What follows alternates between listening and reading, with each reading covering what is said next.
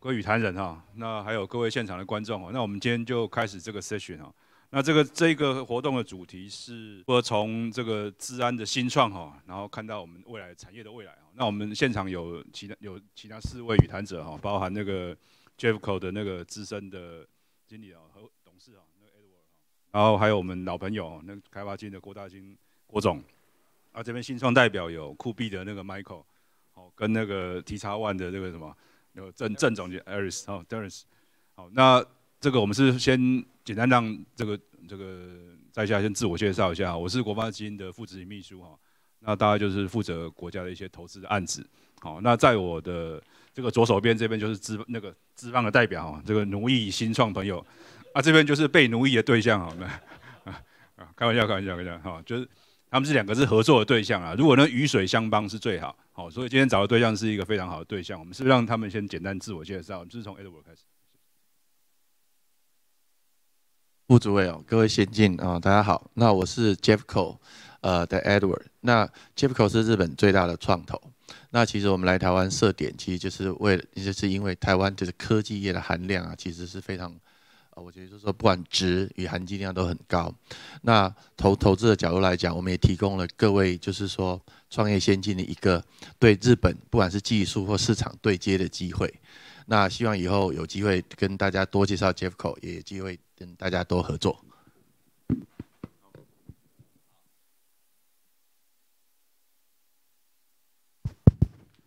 呃，大家好，呃，我是 Ryan 哈，那个呃，很高兴今天有这个机会跟大家这个交流哈。那这个中华开发呢是一个历史很悠久的创投机构哈。是仅次于国发基金哦，台湾国发基金最大哈，没有绩效最好哈。我们是仅次于国发基金的第二大的这个创投机构。那我们呃过去呃这个呃大概超过六十年的时间，我们投超过一千家公司哈。那最近这几年，我们特别着重在新创投资。那中华开发大概管理的资金总共是八百亿台币。其中三百亿台币呢是自有资金在投资，是 Evergreen Fund，其中有五百亿是有十三支基金组成的哈，其中有很多基金都受到国外基金的支持，也有投资我们哈。那我们这最近这几年特别着重在新创投资。那其实我想，治安领域过去一直以来也是我们很关注的领域哦，因为治安其实是一个在各行各业里面都不可或缺的一个很必要、看不到可是很重要的一个元素。那治安怎么样去获得这个创投投资？待会有机会我们跟大家做分享。谢谢。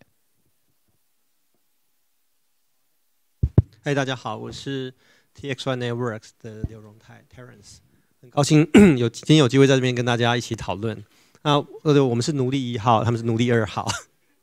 那 TX One Networks 做的是治安呐。那呃，治安当然已经好几十年了啊，但我们 focus 的是公控治安，哦，工业控制，就比如像制造业的产线呐。呃，关键基础设施，比如油气、水电等等，基本上我们是保护那些在物联网时代长得不像是电脑的电脑吧？你可以像是半导体机台啊，或是医院里面的 MRI 啊，这些都都是不像电脑，但它里面有很多 computer board，所以它也有这些风险。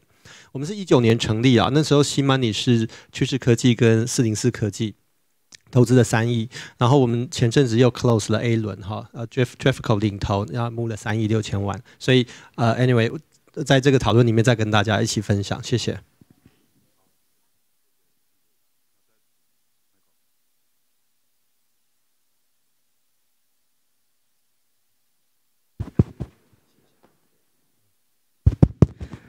谢谢蔡副执秘。嗯，我们奴隶二号呃酷比科技呃，我是创办人兼执行长呃 Michael 欧欧世迈。那呃，我本身之前也在呃台湾的新贵公司呃智慧光科技担任董事长。那在二零一四年创办了呃现在任职的酷比科技，那为的是解决虚拟货币的啊治安问题。那我相信啊在座各位可能多少都听过或甚至自己参与过虚拟货币。那虚拟货币在我刚创业的时候是非常非常辛苦的产业，在二零一四年的时候，在台湾啊。游走创投界，大家都觉得我在诈骗，然后都没有人愿意啊，甚至把我当奴隶。那一直到二零一六年啊的时候，这个产业才突然爆发起来。那到现在，它已经是一个市值三三兆美金的市场，那是非常可观的市场。因为全球的黄金储备量一共也才九兆美金，那虚拟货币它现在啊，只用了十二三年的时间，已经达到全球黄金储备量的三分之一价值了，所以是非常非常可观的市场。那呃，其中当然还有很多呃可以发展的方向，我们可以在待会的讨论中继续呃跟大家分享。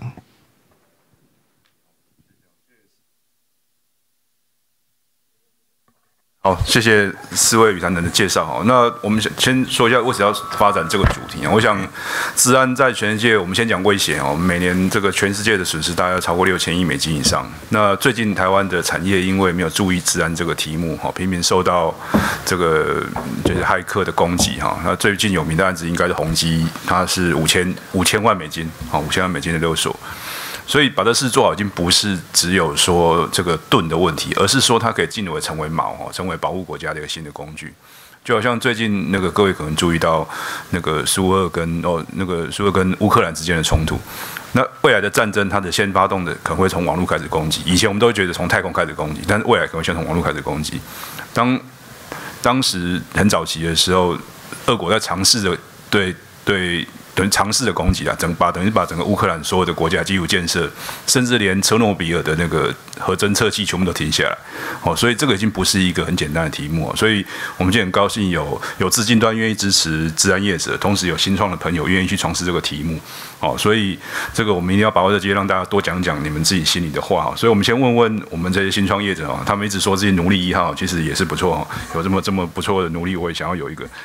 还有两个那就更好了，对不对？我想听听你们当时的创业一些动机啊，跟其他的创业的题目，因为这是一一个比较冷门的，当时比较冷门、比较艰辛的题目，你们可以分享一下你们的想法，谢谢。老师们先从 Michael 开始。好，哎，没关是喂。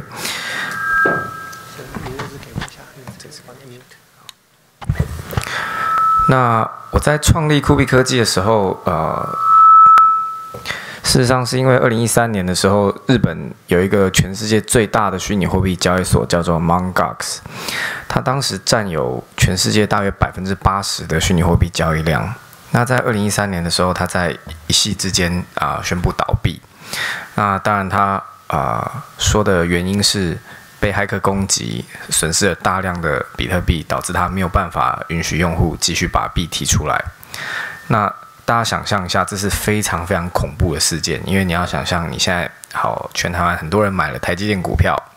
然后啊，有一天啊，券商跟你说，呃，不好意思，你的台积电股票通通不见了，因为我们券商被骇客攻击了。它是一个这样的事件在虚拟货币世界发生。那二零一三年，我看到这事件，心里就觉得哇，虚拟货币未来这么有潜力的一个市场，居然现在基础建设这么不安全，会让这么多投资人损失巨额的资产。那这个产业需要做得更好、更安全啊、更方便，才能走得更长远。所以我当时在二零一四年就回来台湾，创立了酷币科技啊，立志做最安全又最方便的啊。使用者钱包，我们做的是 retail market B to C 的。那当时啊，其他的所有市场的业者都是把冷钱包做成啊 laptop first，就是专门为笔记型电脑所设计的硬体钱包。它需要用个 USB 装置加 USB 的线加笔型电脑才能用。那我相信呃，大部分现在世界上的人都是带手机出门为主，比较。会有这么多带着笔型电脑，所以啊，我们最后就决定做 smartphone first 啊，mobile first 的啊硬体钱包，然后最后就做了 Cool Wallet 一个卡型的装置，然后让使用者可以用手机连线。那这是我们的初衷。那最后在二零一七年啊推出 Cool Wallet S，一路就啊卖的不错，公司开始获利，然后最后才啊有现在还不错的成绩。那我先讲到这边。对，谢谢。其实 TX One Networks 那是我第二次担任执行长。我我第一次担任执行长是在一家园区的公司，叫 Broadweb。那回想起为什么在 Broadweb 会当执行长，其实并不是有什么呃 很大的创业的动机。那个公司其实是我的指导教授开的。然后呃，我在一开始两千年哦，那时候二十几岁，呃，被送去 Silicon Valley，在 Mountain View，然后帮呃一个晶片公司写他们的 simulation 的 software。那那边就认识了很多人嘛，哈，你看到呃 Silicon Valley 的发展，呃，觉得给台湾的年轻人有不一样的发想哈，不是说我一定要资本我才能才能够做出大的大的生意这样子。但最主要是这样，是呃后来公司增资嘛，结果我就跟我岳母借钱呐，然后那钱就亏光了。跟岳母借钱是个很错的决定，对，把它亏光的是更是万万不得，对，吵架你就知道死啊。然后所以怎么办呢？与其被别人花掉，不如自己做啊。那做了五年啊，然后 呃那公司转亏为盈赚钱了，然后被科被趋势科技买走，我就进趋势科技。那我在里面就负责啊，IOT 自安呢，IOT 安全的产品开发。那呃，所以当然以前有小公司的历练嘛，那去了大公司之后，就会学到正规军作战的方式哈。你怎么在 region 部人啊？region 需要什么资源啊？sales marketing 的配置应该是怎么样啊？那公司怎么转？那呃，一面做 IOT 自安，大家知道 IOT 很虚幻嘛，哈，任何东西都 IOT 啦。那真正能落地，我们觉得在一八年，就是看到从一六一七年开始，在工控还有制造业陆续遇到一些危机啊，我们觉得大概时间差不多，所以做 TX One Networks 其实是个成熟的决定啊，倒完全不是什么一时的 passion 啊，就是我做自然做二十几年的这个事情很适合我们做啊，时机正对，所以我们就做了。那我们这边这个刚才讲是那个奴役别人，但是实际上哦，他是一两个富爸爸啊。如果那个有有一个有一个好的富爸爸就很不错，还有两个哦，那就是赚到了。哦，那我们是不是先请 Jeffco 的那个？哎，我先讲看看，谢。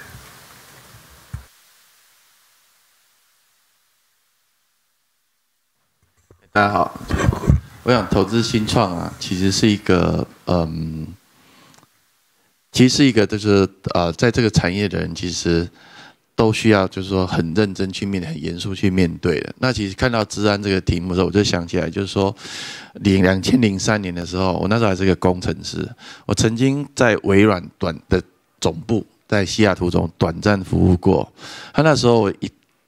去报道，那那那前几天被害了，所以那时候他们就很紧张。他们其实是什么讲？所有人开始改用晶片卡，所有连电脑连线你要插晶片，然后啊，所有你在键盘的 keystroke 全部都要被什么讲？被记录起来，都要记录起来。因为其实他怕到了，但其实这回忆上反射到说，其实我其实刚遇到就是说 Terence T S One 执行长的时候，其实就是说，最后其实你看一个治安的新创，台湾因为怎么讲？我们是国家比较小。所以其实说，相对我们 domestic 市场不大，所以其实我用制造业的思维去看一个自然的新创公司的时候，我永远都没有办法去 justify 它在市场要怎么做。所以其实我们去看的时候，其实我们直接反射到就是说，假设在微软这个场域，这个公司其实它的产值可能一年是几兆的。那如果我做一个东西，能够去保护这个。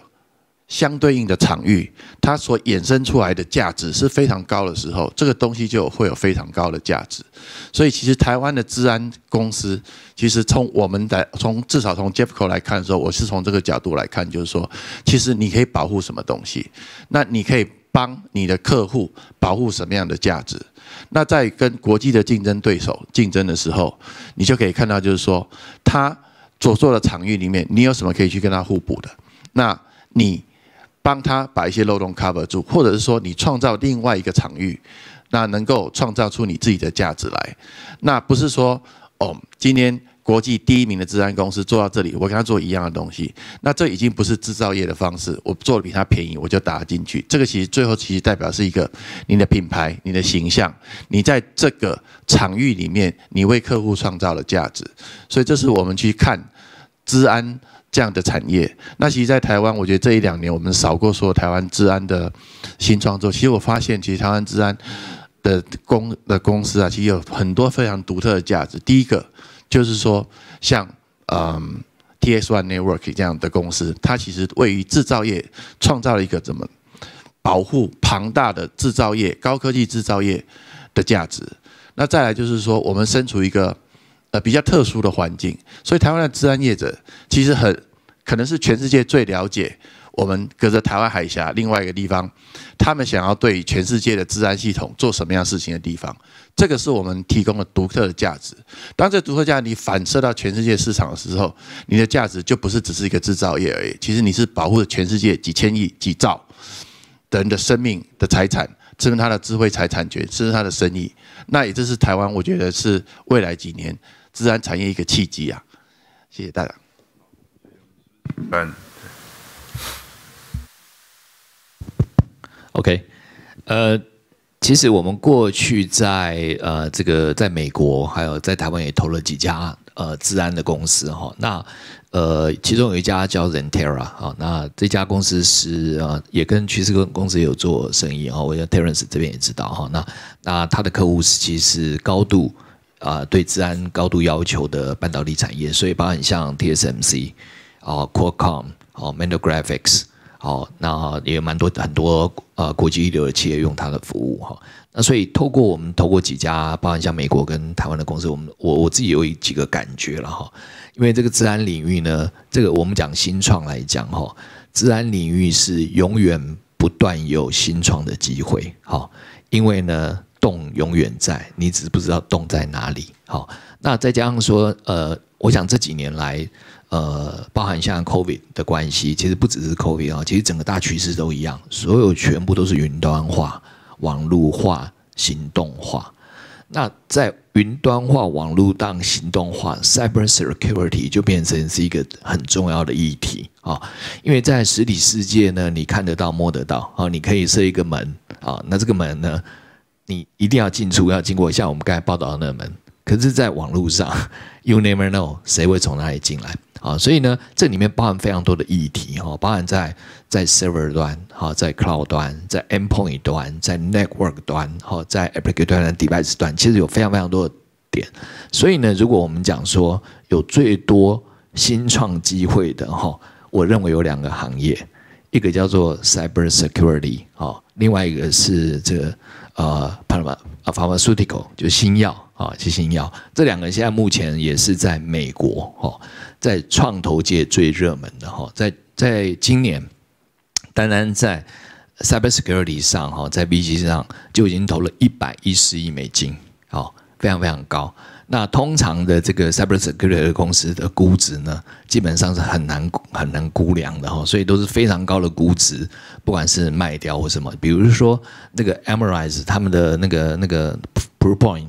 最近又用十三个 billion 卖给人家，卖给另外一家公司啊，所以他们当初这个上市的可可能才一个 billion 两个 billion 哈，那现在十三个 billion，所以我感觉治安领域是一个嗯非常啊呃有机会的一个领域，可是治安领域可能也是也最困难的领域哈，感觉怎么说呢？我感觉治安领域是一个有点像华山论剑一样，就是只有第一名会存活，就同一个领域上，如果你是第二名，大概不会有人用你，你说哎。啊，这个我比他比较不安全一点，他比较安全，我是第二名，那你会选谁？你一定选第一名的嘛，对不对？所以呢，既然是华山论剑，所以呢，它某种程度上来讲，它面临的竞争就是全球的竞争。所以怎么样真的全球的竞争里面找出你一个位置，然后很特别的位置，像刚才我们讲的说，Terence 啊，TX One，他在台湾最擅长的领域，在 IoT 的领域去做 security。这个东西的场域呢，在其他的这个全球其他地方是找不到。啊，所以我自己的感觉是说，作为一个台湾的新创，我觉得第一市场够大，这个这个市场够大。啊，那台湾的工程师的 quality 也够好，所以技术上应该是没有问题。第三个就要去找到一个适合自己的场域来做，我觉得这个机会还是很在哈。那刚才这个呃这个蔡蔡局长，我们都叫神盾局局长，你看神盾局来讲，这个治安是非常适合的。那其实我感觉啊，我们往往投资一个治安公司了以后，我们变成奴隶，你知道吗？我们不是 不是他在努力，呃我们在努力，他是在努力，因为呢。这个市场我完全看不懂，我们对某种程度上，这市场变化太大了，所以我们是 rely on 他们，所以某种程度上，我们是希望他们能够找到自己的位置哈。所以我觉得，如果有兴趣的人，我觉得加入的特别在座的各位哦，能够投入啊这个新创的投资，呃创创业，我觉得非常值得。嗯，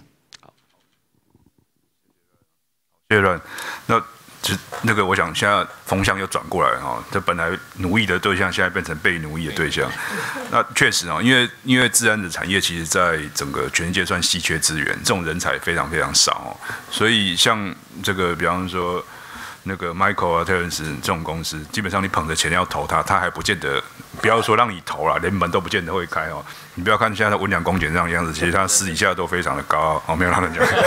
真的，真的，对，然后那个这边有人马上站起来，好，那这个其实它是一个快速成长的领域，那也有很多新的机会哦，所以也许各位哦四位讲者可以再跟趁趁这时间跟大家提醒一下，哎，从你们的角度去观察哪些自然领域其实是还待开发，好，或者是目前还是一个蓝海哈。那有人说蓝海，就是有人有一些学者说蓝虎啊，我们不用很大，那个蓝虎就吃不完的，好，或者是或者是一个我们叫白地的哈，完全没有人去开发领域，是不是先可以请大家分享一下？我们用短一点时间，是 Michael 这边先说。谢谢蔡呃，谢谢蔡局长。那我认为现在最适合开发的蓝海是呃 Metaverse 啊，就是元宇宙世界。那元宇宙世界其实啊，从前几年的呃 AR、VR 啊，然后到电影而言的一级玩家、脱稿玩家，那其实它早就生存在我们的呃每天接触的世界中。因为你以前好比说在 Facebook、Twitter、Instagram 这些，其实也是元宇宙的一部分，只是它以前是用嗯呃单向的，然后是用全二 D 或是文字图档影像。那以后进入 Web 三点零的时代，然后再搭上用区块链世界来搭建出来的这种呃环境，让使用者可以跟呃链上的资产或是链上资料直接互动。那它的潜力在于，我们光从市场来看，Facebook 它把名字改叫 Meta 之后，它宣称它会用一百亿美金投资在这个产业。那它的竞争对手像啊 Google 啊，还有其他的这种呃 Amazon 就会渐渐跟进。那刚刚我提到它本来虚拟货币世界就已经是三兆美金的市场，那再加上这些科技巨头的加入，它一定会只会往上再成长更快。那为什么我说它是个蓝海？是因为在虚拟货币产业，除了早期的啊只有比特币一条链，到后面有以太啊，再到后面有像啊。Tron 啊，或是币安链等等各种不同的链，它已经发展出非常非常多不同的生态系，那也相对的呃蛮碎片化的。那也因为这市场又大，可是又却又很碎片化，所以间接就造成呃我们作为新创业者，可以去用很多不同的角度去切入，去取得啊不论是用户或取得流量，或甚至取得资金。所以我认为，啊，以自然来说，在啊元宇宙世界，呃，它还有非常多的发展可能性。谢谢。嗯，我觉得治安的机会就是呃要看什么角度哈，因为治安其实可以非常宽嘛哈，从指纹解锁啦、电子钱包，但我比较擅长的哦呃，最其实是企业治安还有政府的治安，也就是说在在 commercial side，在这边其实呃有几个角度，第一个就是说呃我觉得机会永远是追不完的，为什么？因为我们永远比较慢。为为什么治安业者永远比较慢？因为你太早做，没有灾害，你就死定了。企业的 budget 都是到有灾害之后才会 allocate 出来的。所以，假如你做了一个行业，说哦，这个是个白海、白蓝海，然后未来会有治安的问题，你就会看到很多人会来听你演讲，但是真的要付钱的时候，他不会掏钱，所以其实你活不了多久。那、那、那，所以你会看到骇客先在哪里造成攻击？然后你解决那个攻击，所以其实你你没有那么难呐，你真的是比他慢一步，真的出现了。然后你有方案，那是第一个。那第二个就是说，呃，如果说真的要说根本没发生过的，你可能要找接近一点的。现在流行什么？因为到后来还是骇客在哪里赚到钱嘛。好，就像 T X One 做公控，那一六年开始有一些公控自然，那个都造成的其实并不是骇客主动攻击的，那个时候只是不小心的病毒流窜，结果没想到一只小小在 I T 两秒会被消灭的病毒，流到产线上，造成几十亿的损失。这个马上给骇客一些灵感了哈。是吧？原来这地方这么弱，然后 cryptocurrency 又整个提升了治安产业，对不对？让骇客从对对，让骇客从本来只能够卖你的资料，然后在黑市卖你的资料拿钱，现在可以主动跟你要钱了，因为他不用再担心在取款的时候被逮，好所以现在骇客非常主动的出击，那所以这个也 drive 呃，在像 COVID，COVID 让很多呃，比如制造业必须要把它的呃工厂的连线打开，因为要让人家操作员可以远端操作嘛，那这个就 drive 了我们的生意。那我我其实建议比较务实的做法，其实假设不是真的要圈一块没有发生的地哦，你可以想。我们现在看到每天这每天这个公司被卖掉，很多是比如说几十个 mail 链、几百个 mail 链它可能不是一个独角兽，但他们就做了一些小的改善，比如说在密码的登录的上改善，比如说呃在比如说呃 log 的自动化上的改善，到后来被大厂并购，那他开始投入没有那么多几个 mail 链后来卖了几百个 mail 链我觉得那也是很好的生意，这样这是这是另外一个角度，谢谢。我我我想哦，那个刚才特讲到一个很重要的东西哦，就是我们都在讲数位转型哦。那其实这个我做坏人也在数位转型哦。以前用车手去领钱哦，现在就直接用用那个加密货币就可以做到这个这个交易的行为。所以这个车手这个工作慢慢就会消失哦。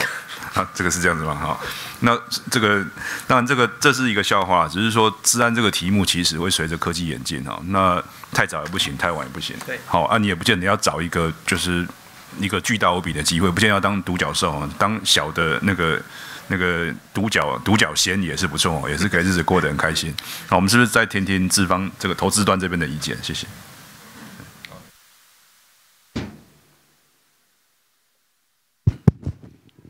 呃，其实我蛮赞成 Terence 的想法，就是说我们创业哦，当然要梦想嘛，可是我觉得也要务实，然后那。其实，如果我们讲赛道，我们讲赛道方向呢，赛道来讲，一定在治安方面，啊，越成熟的产业，它治安被解决的，呃，已经被多比较多了，而且大的公司啊，像 IBM 这种公司，它已经 cover 掉了哈，所以一定在新兴产业。啊，所以 Michael 刚才讲说，我觉得我讲广义的来讲，可能不是 Metaverse 啊，就是说整个 Blockchain 的产业其实存在非常多的机会哈，因为 Blockchain 这个东西，虽然我们讲的是它不能篡改，可是我们知道交易所被偷的一大堆 啊，所以说。啊，这个怎么样在这个 blockchain 的整个不管未来的这个不管是 metaverse 的应用哈，或者是在 smart contract 上应用，其实这中间是一个新的领域。那新的领域就有很多大家不知道的漏洞在哪里，所以呢，呃，在新的里面一定有发展的空间。那另外一个呢是，其实现在大家都很啊，已经越来越 popular，就是说这个啊呃 fintech 啊，就是说数位金融。因为金融过去从传统的我们是有 cash 到 cashless，到现在在啊 wallet 啊，那未来可能啊 crypto 的钱包都会出现啊。现在啊，Michael 他们就在做 crypto 的钱包。那我觉得这种交易交，我认为是这样啊，资产最大的地方就是骇客最想去的地方。好，那所以当你大家的交易都在网络上的时候，那在网络上的交易的安全就是变得非常重要。而这个又是一个很新兴的领域。那这个新兴的领域，每一个人在每个手机上天天在做各种交易的时候，这中间有非常多的呃工作可以做哈。刚才 Terence 讲就是说，比如说是现在用生物识别的方式进入啊，然后去保障就是说，不管是 face recognition 啊，或者每一个环节上面都能够保障你使用者。到底是不是那个本人？好，现在也讲 AI，就是说你的 behavior、你的 data 各方面来去做学习，看你是不是是真的使用者，还是一个呃到呃这个骇客进来。我的感觉就是说，啊，blockchain 是一个很好的领域，我觉得 fintech 是一个很好的领域。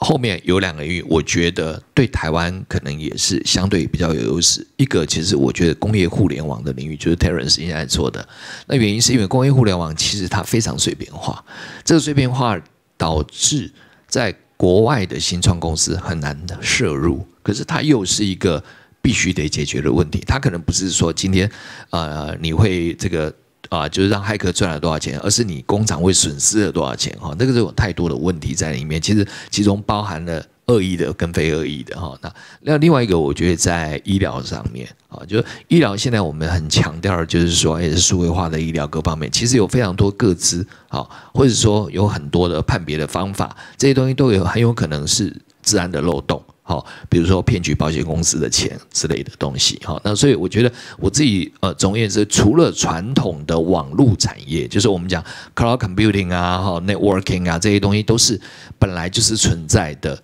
啊这个领域大家可以投入以外，我觉得刚才我讲这四个领域，我觉得是一个比较新的领域。那我觉得如果回到务实一点，我觉得大家如果要投入的话，我觉得不能单纯从技术面去看。好，我觉得要先从生态链上去看，就是说你容易切入的点在哪里哈？每个人技术都很厉害，我觉得技术厉害的人，他应用点、切入点不同，他可能获得的回报就不同。我觉得 Terence 他切入一个工业互联网，他的回报绝对比他说切入 FinTech 或者切入这个 Med 呃 Medical Care 容易。所以要找到一个，那技术上它一定也可以用在 FinTech，也可以用在其他地方。可是它切入一个对的领域，所以新创公司技术要很强。我刚才讲说华山论剑，你是华山论剑的第一名，可是你要想你要当武当派还是要峨眉派，你要带你要哪一个山头，你要霸占住哈。所以我觉得山头找到对的山头，我觉得才是很重要的创业的起点。好，好，以上。谢谢大金哥啊，那其实我其实想要补充几点，就是说，其实我我觉得在我是投资人，那他们其实是产业的创造者。其实我们来看，就是说，恐惧跟价值其实创造了很多生意的机会啊。那其实我刚刚想要 Michael Michael 其实讲讲了很多人，但其实我在想说。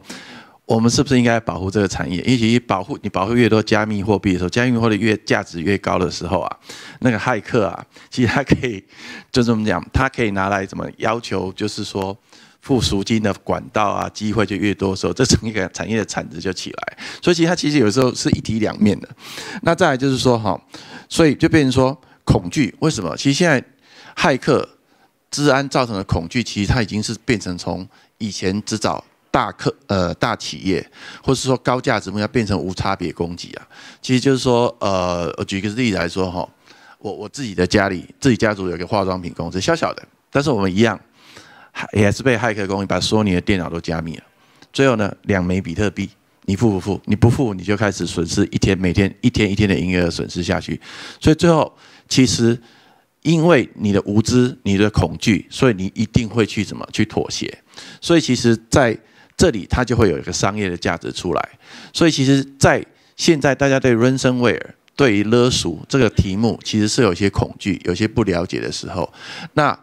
也没有很好的解方的时候，其实大家如果在这种单点突破上面去创造一些。不同于一些国际公司的 solution 的价值的时候，其实我觉得是相当有机会。再其就是价值的保护。那其实我不骗各位哦，台湾那个新竹的我们的护国神山公司啊，它早期啊，你在家里是不可以看公司的 email 了，因为他怕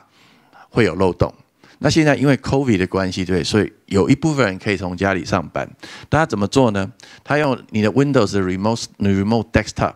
连回公司。但是不好意思，他半每半个小时他要断线一次，他要看你说你有没有在位置上，那有没有在好好的连线再继续工作。所以这个其实怎么样？他要保护他的价值，可他有一个他无法克服的恐惧。所以当一个有价值的目标有无法克服的恐惧的时候，这就是你的生意机会。而这种生意机会其实到处都是。那。不光是国际化，其实在台湾，台湾其实有多少高产值、高价值的公司，这些都是需要一些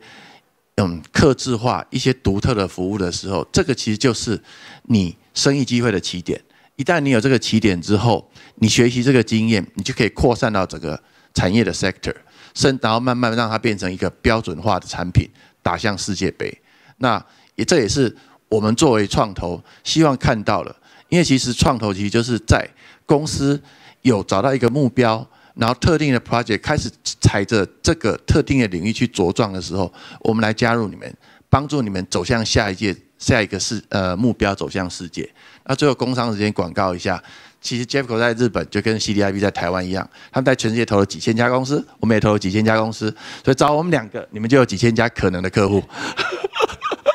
好，谢谢。这个这个。反正奴役奴役新创朋友的那个资本家突然变得慈眉善目起来，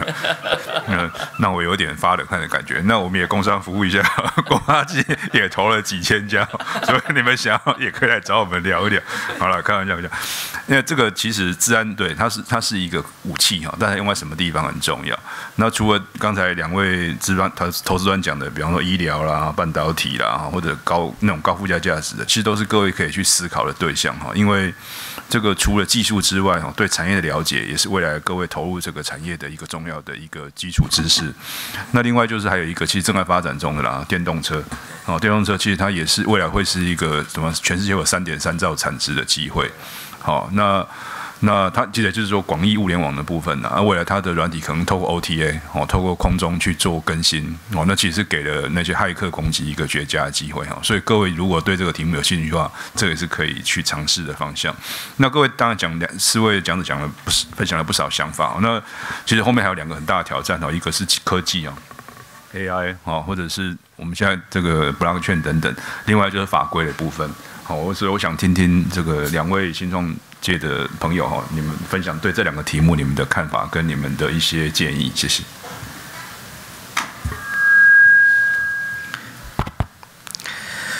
嗯，在法规环境，嗯，我想对所有新创公司来说是必要考量的一环。那像虚拟货币公司在最早期的时候，就常常受到啊法规的呃打压，因为在当尽管尽管会或者是呃这个刑事局他不是这么理解的时候，他可能经常会把呃这些虚拟货币跟法币之间的金流呃想的跟洗钱或者是呃一些非法的资金相关。那近期呃台湾的金管会已经把呃洗钱防治法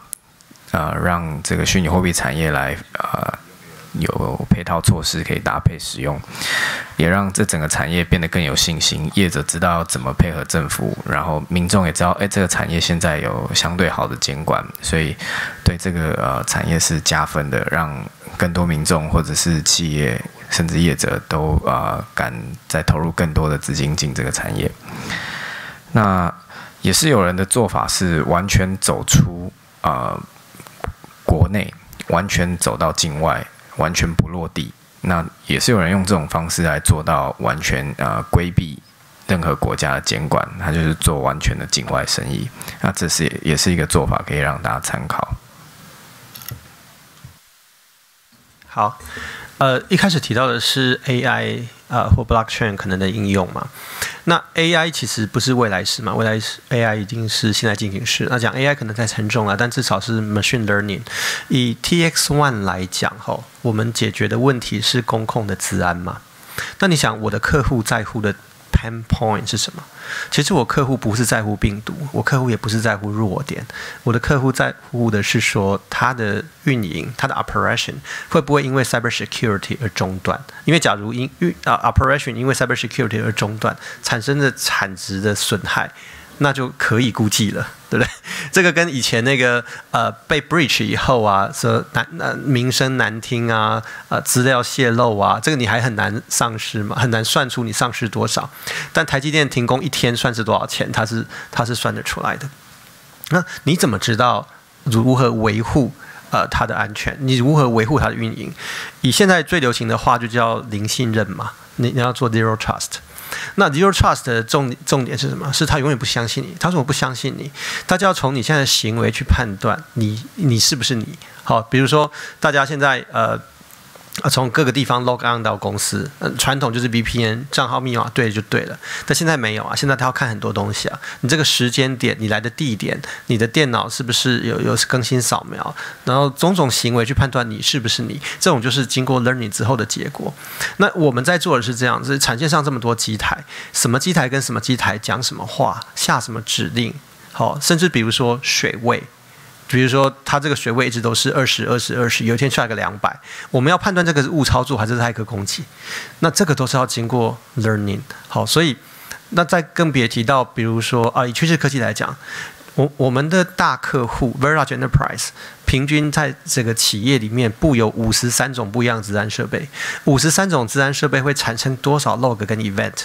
你完全没办法靠人来判别，对不对？所以这就是为什么 EDR、XDR 现在变成一个这么热门的 category，因为他们要从蛛丝马迹里面去判断，其实你已经被 hacker 给入侵了。那这些都是 machine learning 的具体应用。我觉得它只会呃继续往前发展，所以它是一个现在进行式。法规呃，对我们来讲，其实法规比较多的反而是地缘政治引起的限制了哈。现在你做治安还要挑边站啊、你做这个国家的，可能就别想做那个国家。那呃，比如 data center 好了，我们现在大家都讲 cloud，那 cloud 你就说我在云，哦，对不起，人家国家不是你这一套。请问你那个具体这个 data 是放在哪一个 data center？你要能够 point out 出来。那在那个 data center，谁来用手碰得到我的 data？这个是不是我们国家的人？还是说你这个啊，比如说资料，你有中国员工，中国员工可以来碰，那美美国政府他可能不会允许。种种这种 compliance，其实以大公司像 Microsoft 来讲，他们应该是快十年前就开始布局类似这种的法规，要要能够释法了。那呃，我想这也是大家在做国际生意的时候会遇到的一些挑战。谢谢。谢谢 Michael 跟 Terence 的一些分享啊。那确确实，这个治安的形势是千变万化。以前我们讲说世界上有四大恶人啊，就是俄罗斯，然后北韩，好，然后中东啊，加上中国，哦，快到还有五分钟，好。那所以他们就是就是美苏互打嘛，哈，中东打打以色列啊，那个那个还有北韩是也是他跟他就在旁边偷打美国啊，有一个没有防到就是中国，所以就打台湾哦，所以台湾就是。因为常常被打，所以学了很多特别的治安的技巧。可最近一个很特别的趋势哦，就是从很多攻击是从非洲发动，哦，啊因为其实很简单，因为非洲都用中国的 电信设备，所以他们就用那边当基地，所以整个局势一直在变化。那我也想听听说，从投资端哦，你们有看到一些什么趋势？好，那也请教两位，这个这个一个在日本的龙头，一个在台湾的龙头，你们针对这个治安国际的投资趋势有什么看法？那我们希望短一点，再给最后大家一点时间，好，谢谢好，剩五分钟。OK，好，那其实我很快讲一下，其实我也投了几家公司，其实刚好呃 echo 到的 Terence 的讲法，就是说他在 FinTech 领域呢，他呃用 AI 的方式在做哈，他就是说他去判别人的 behavior。你的 behavior 是不是真的呀？比如说你是左手还是右手，你知道吗？那进到一个网站进去的时间有多长？你通常花多少时间去去做后面的啊啊，比如说 password 啊什么之类的 key in 这些东西都是可以用 machine learning 的方式来做哈。然后另外有一家公司是 blockchain 的公司，他们做在做 anti money laundering。好，那他们也走透过走些一些 behavior，就是说平常你在交易的过程当中有哪些全筛选的这个过程，你的习惯是什么，跟其他人习惯在哪，而且你的节点在哪里？哈，其实我认为用 AI 去解决很多治安的问题是非常热门的一个领域，所以我们其实如果有这样的一个啊，不是不是传统的治安的解法的东西，我们觉得我们会蛮有兴趣的。这个产业哦，其实一直在推陈出新的。那些 Jeffco 曾经投资 FireEye、Palo，然后其实我们看到就是说，从软体到硬体加速，到现在 AI，其实就是会有各种的问题。其实最后牵涉到就是底它怎么 underlying 的资料量越来越大。所以如果你没办法快速去在资料很大资料量去做快速筛检的时候，你就没办法去有效解决问题。再加上就是说，嗯，加密货币的，也就是说，我觉得是勒索产业的。高度分工化之后啊，其实让整个产业的产值越来越大。当其实这个产业产值越来越大的时候，机会就在那里。不管是创业或是投资，都会在那里。只要你用更快的方式、更准确的方式去解决一个产业所需要的面对的营运，或是说啊每天啊生活上交易的问题，你就会存在你的价值。这个时间快到，我们是不是用请四位再用？这个很短时间给现场想在自然产业创业的一句话，一句勉励的话，谢谢。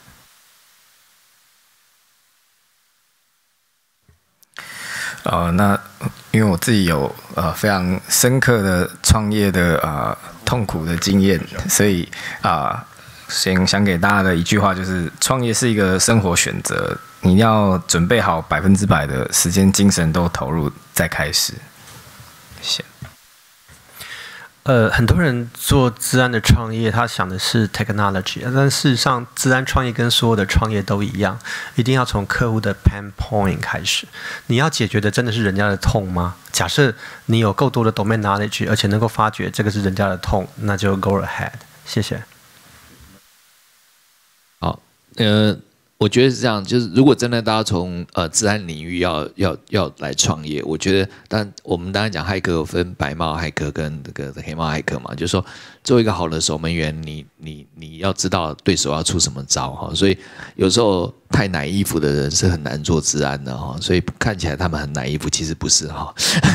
他们没有想到说，哎，对对对，就是说你要知道别人怎么攻击哦，所以你可能也许我想你在创业的时候，因为为什么我们在投我们在投我们的治安的公司，我们都会找专业的公司来做 hacking，我们来证明。它的保护能力够不够？不然你讲一大堆没有用。所以呢，我们都会找 third party 来做 hacking 啊。那如果你也许先做白猫，开始去了解这个产业的一些样貌，也许对你来讲比较容易找到题目。我们是投资者哈，其实在我们很重视一个嗯 idea 的创新性，但是其实我们更重视什么？团队的团队的嘛，优秀的团队以及产品的可。呃，就是说，它是不是能够怎么讲 expand？所以就是说，从你要做这个东西的时候，你要给自己设定一个场域。假设场域你可以创造好三个 billion 最后的产值，那你现在从你现在时点，你要怎么走向那里？那其实这你要很清楚的用投资者可以懂的语言解释给他听，这样子你就可以得到投资者最大的 support。四位哈的说明，那今天就很感谢投资端的 Jeffco 哈，还有那个大金兄这边的分享，从投资观的角度去分享这个对自然的一些看法。那 Michael 跟 Terence 从创业者角度去分享他们对自然产业的一些观察哈。那不管怎么样哈，我们都希望说台湾的产业，特别是自然产业，能够长出自己的的一条漂亮的路出来哈。不见得要当护国神山，可是至少可以支持我们未来的护国神山往前走哈。那各位如果有任何的进一步的需求，有投资端哦，这边有两只大树哦，可以找；还有一只没有用的小树可以找我们。还有创业的问题可以请教 Michael 跟 Terence。好，那今天我们的这个这个 panel 就到这个地方，谢谢大家，谢谢，谢谢，谢谢。